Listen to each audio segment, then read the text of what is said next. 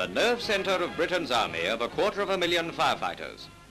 In the GHQ of London's Fire Brigade, telephonists in the communication centre handle incoming calls from every part of the London operational area.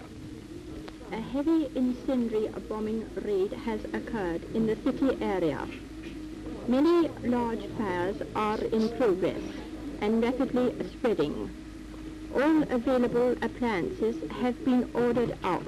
And the many thousands of appliances are controlled like pieces on a gigantic chessboard. Order 50 pumps from the F to St Paul's Churchyard, 50 pumps from the A to West Smithfield, order report to control points, 100 pumps from the E to 60 station to stand by. In another secret room, huge war maps indicate the location and strength of firefighting units.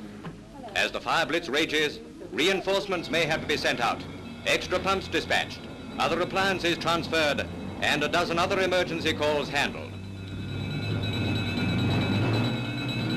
Under the hammering of the bombs, hundreds of local fire brigades have now been welded for operational purposes into a nationwide organization. The battle of fire is raging.